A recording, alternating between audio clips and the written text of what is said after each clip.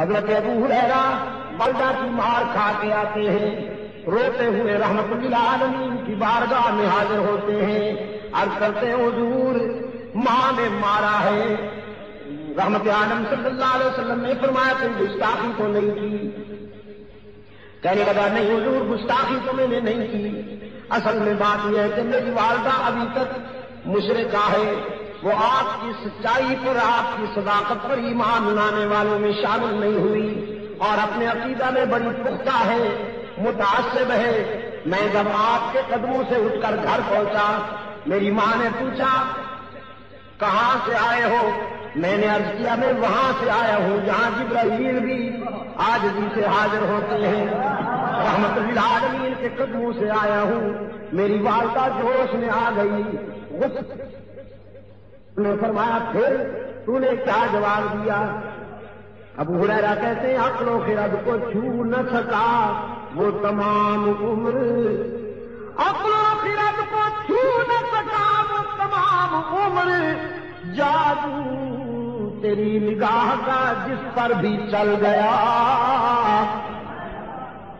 मैंने माँ से कह दिया, सिर्फ़ तेरा घर नहीं सारी दुनिया को छोड़ दूँगा, लेकिन आमना से लाल का दामन नहीं छोड़ूँगा। सारी दुनिया को छोड़ दूँगा, लेकिन रहमत लाल अमीन के कदमों से जुदा नहीं हो सकूँगा। फिर मेरी माँ गुस्से में आ गई। उसने मुझे मारा, घर से निकाल दिया और कहने लगी, मेरे घर उस दिन आइएगा, जिस दिन हजूर का दर छोड़ने का फैसला हो जाए। रहमत आलम सल्लल्लाहु अलैहि वसल्लम ने फरमाया, फिर यहाँ क्यों आया है रोता हुआ? ये तो बेटे और माँ की बात है। इसमें हम क्यों इन्वॉल्व हूँ, हम क्यों इंटरफेयर हूँ? ये तो माँ बेटे का मसला है।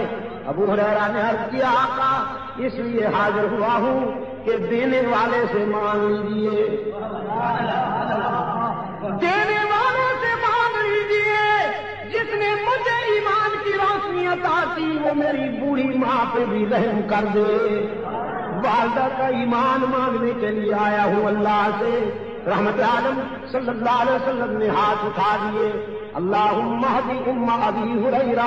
अल्लाह महदी उम्मा अबी हुरैरा। इलाहुलालमीन मैं इल्तिजा करता हूँ। अबू हुरैरा की माँ को ईमान अदा कर, इधर हुजूर के हाथ उठे, उधर अबू हुरैरा दौड़ गया।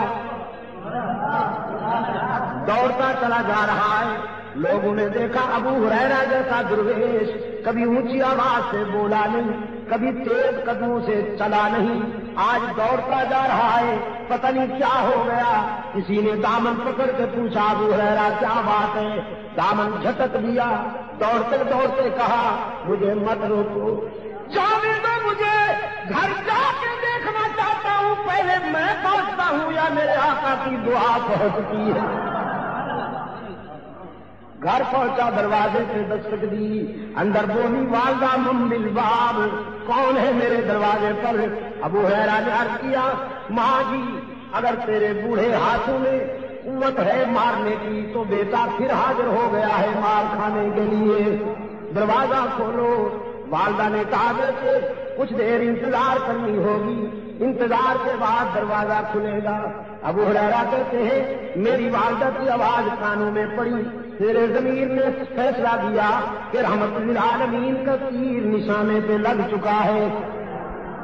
आवाज़ में कुफर की तलखी रुखसत थी, ईमान की लज्जतकार फरमा थी। थोड़ी देर के बाद दरवाज़ा खुला। फरमाते, मैंने गौर से देखा, वालदा के चेहरे पर ईमान का सूरज तुलू हो चुका था।